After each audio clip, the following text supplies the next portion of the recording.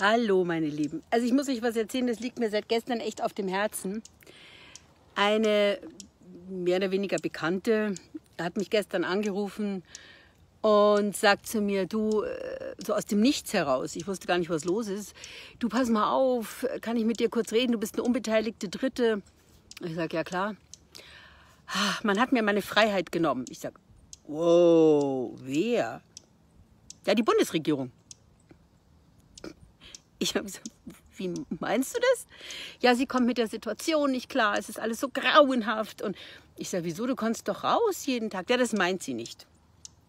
Ich sage, was meinst du denn? Ja, sie hätte gerne, wäre sie gerne in Urlaub gefahren und das durfte sie nicht. Und ich sage, du pass mal auf, das ist eine Pandemie, das ist ja auch weltweit. Das betrifft ja nicht nur die Bundesrepublik Deutschland. Also insofern, wir durften alle nicht in Urlaub fahren. Das hat ja jeden betroffen. Ja, und das findet sie immer eine Unverschämtheit, dass man dagegen nichts gemacht hat. Ich sage, was hättest du dagegen gemacht? Äh, ja, nein, und das ist ja, Corona ist ja nicht schlimmer als ein Schnupfen und ist überhaupt nicht ansteckend. Das ist alles eine große Lüge. Ich sage, ach du Gott, dann red doch mal bitte mit den Leuten, deren Angehörige gerade auf den Intensiv um jeden Atemzug ringen. Schau dir mal das Video an von der Nurse, also von der Krankenschwester, die sich selbst beim Sterben gefilmt hat. 56 Jahre alt. Der kleine neunjährige Junge, der neun Tage mit seiner Mutter im Krankenzimmer saß und um sein Leben gekämpft hat. Wenn du das denen erzählst, glaube ich, springen die mit einem nackten Arsch ins Gesicht. Naja gut, ich kann ja denken, was ich will. Ich sage, das tue ich auch. Äh, und du kannst auch denken, was du willst. Also Freiheit. Kommen wir zurück zu deinem schönen Wort Freiheit. Ja, sie wäre gerne in Urlaub gefahren äh, zu der Zeit, aber sie hätte ja nicht gedurft. Ich sage, wann gehst du normalerweise immer in Urlaub? Ja? Weihnachten und im Sommer. Ich sage, naja, wir haben Frühling. Ja, aber sie hätte ja gewollt und hätte nicht gekonnt. Vielleicht. Ich sage, findest du das nicht jammern auf höchstem Niveau? Zu Hause ist doch auch schön. Ja, und jetzt, jetzt, ich sage, kannst du jetzt wieder in Urlaub fahren? Ja, aber nicht ins Ausland. Ich sage, ups, äh, ja, dann machst du es halt in Deutschland. Deutschland ist wunderschön, sage ich aus Erfahrung. Ich war Tourneefahrer. Äh, nein, die Kinder äh, wollen nicht in Deutschland Urlaub machen.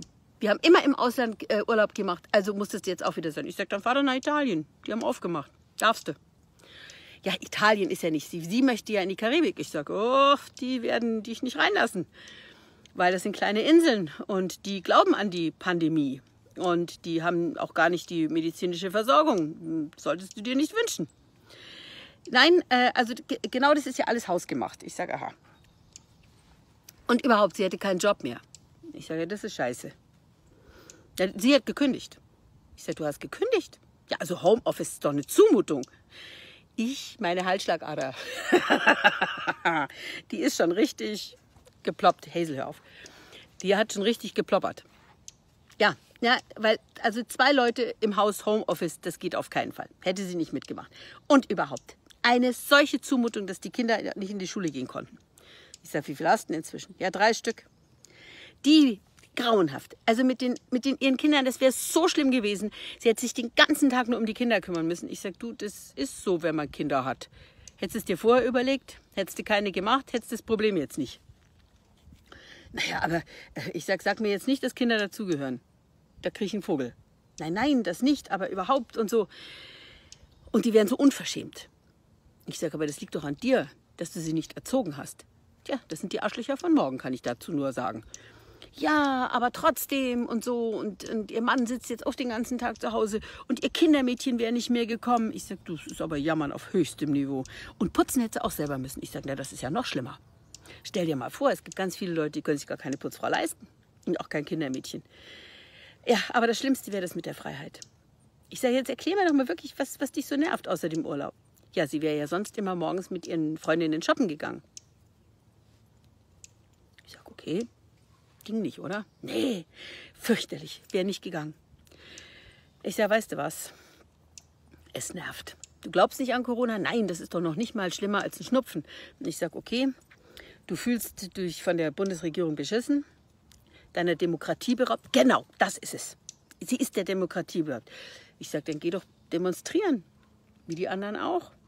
Ich meine, man geht demonstrieren, weil man sagt, dass man der Demokratie beraubt wurde. Das ist eigentlich ein Widerspruch in sich. Ja, und ganz schlimm. Sie kann nicht zum Friseur und auch nicht mehr zum Nagelstudio. Ich, wieso? Die haben das seit zwei Wochen auf. Du warst nicht mehr eingesperrt. Du konntest spazieren gehen. Frag mal die Leute, die lange Zeit in der Diktatur gelebt haben. Das ist ja was ganz anderes. was ganz anderes. Ich sage, weißt du was, was ich bis jetzt höre, ist das egoistisches Gelaber. Und warum gehst du nicht zum Friseur? Ja, da hat sie Angst, sich anzustecken. Das lasse ich jetzt mal kurz wirken. Ich habe sie von der Freundschaftsliste geschmissen und habe ihr gesagt, und ich möchte nicht mehr, dass du mich anrufst, denn ich befürchte, dass Blödheit ansteckend ist. Demut will gelernt sein. Jeder für jeden. Und ich möchte auch mal erzählen, wie es anders geht. Hier in British Columbia ist keine Maskenpflicht. Trotzdem, ganz viele Leute tragen Maske. Wir sind wahnsinnig respektvoll zueinander. Wir haben im Durchschnitt 16 neue Fälle in ganz British Columbia. Im Moment liegen nur 40 Leute auf der Intensivstation, weil sich jeder um jeden kümmert. Jeder hält Abstand, jeder desinfiziert, jeder macht, jeder tut. Es wird garantiert, und das, da bin ich mir fast sicher, eine Freundin von mir, die hat ein Restaurant, die hat nicht aufgemacht.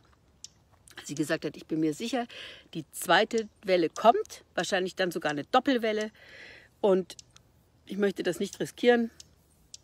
Kann ich sehr gut verstehen. Ich glaube auch, dass eine Welle kommen wird nochmal. Das ist meine Meinung. Und äh, ja, haltet euch von solchen Leuten fern, die nur an sich denken und die nicht ein bisschen aus ihrer Komfortzone bereit sind, herauszukommen. Ich finde das extremst egoistisch. Jeder kann denken, was er will. Dafür ist eine Demokratie da. Man kann das auch laut sagen, alles in Ordnung.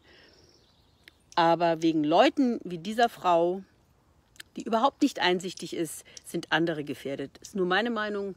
Kann man daraus machen, was man will. Und in diesem Sinne, jetzt zeige ich euch nochmal, wo ich hier sitze. Es ist nämlich wunderschön. Ich kann das immer noch nicht. Wer hat mir das gesagt? Wo soll ich da drauf drücken? Das geht nicht. Irgendeiner hat gesagt, das könnte man dann umswitchen. Tut's nicht. Ich zeige euch jetzt trotzdem, wo ich bin. Guckt mal, ist das nicht schön hier? Ich bin ganz oben auf dem Berg. Und hier ist meine Hazy. Hazy, sag mal Grüß Gott. Der geht's auch wieder gut. Also, das musste jetzt sein. Und ich habe mich auch mal ein bisschen gestern mit Freunden noch unterhalten und die haben gesagt, du pass auf, diese Anrufe hatten wir auch. Und das, dieses Problem haben ganz viele Leute. Ganz viele Leute. Also der Freiheit beraubt ist immer noch was anderes. Ernsthaft. Ich würde mal sagen, Knast.